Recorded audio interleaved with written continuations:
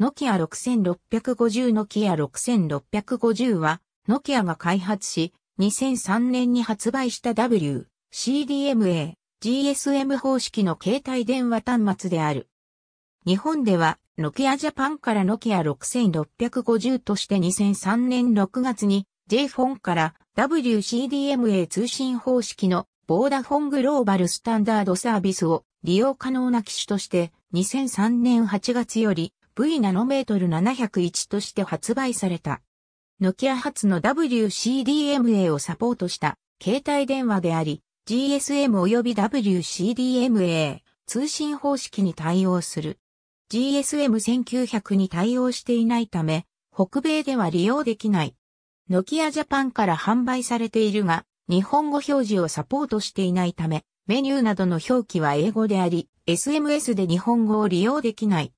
シリーズ40デベロッパープラットフォーム1.0を採用しているため、J に ME アプリケーションを動作させることができる。